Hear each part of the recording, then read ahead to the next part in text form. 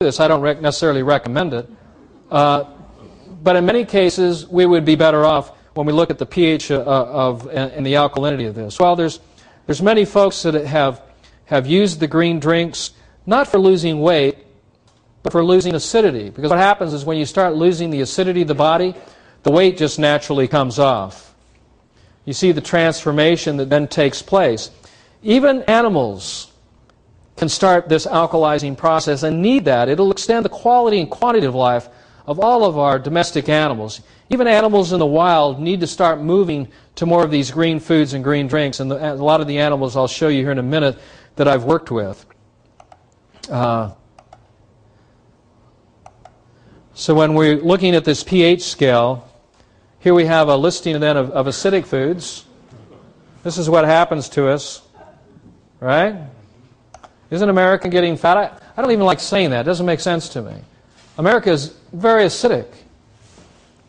And not only does it affect how we look, but it also affects how we feel and how we think.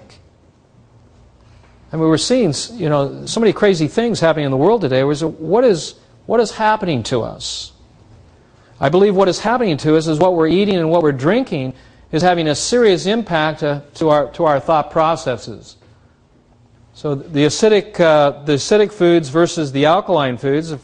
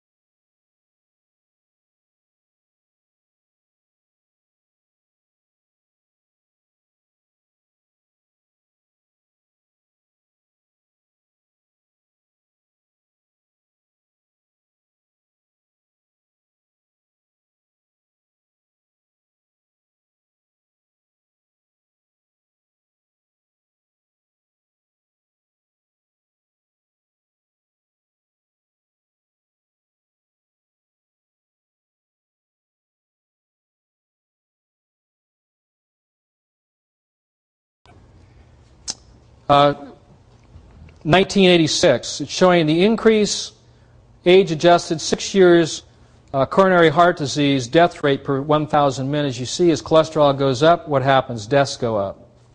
So the medical profession and the, and, and the pharmaceutical companies have been using this, but here's the new study.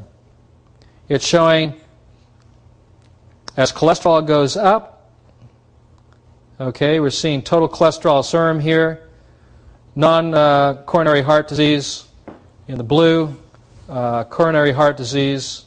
We're seeing as cholesterol goes up to the 300s, 350, and 400s, we'll notice that uh, uh, coronary heart disease actually reduces. Why? Because cholesterol, even low, uh, low density lipoproteins that have been termed what? The bad cholesterol? LDLs? Actually, LDLs are good cholesterol. Just thought I'd let you know. And why are they good? They're buffering the acids that are being produced from our lifestyle and diet.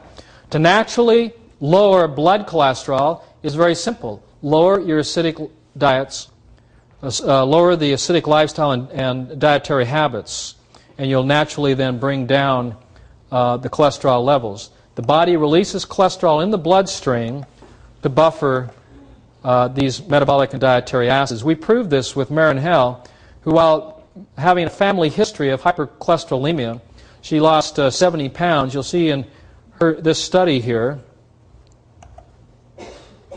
I can get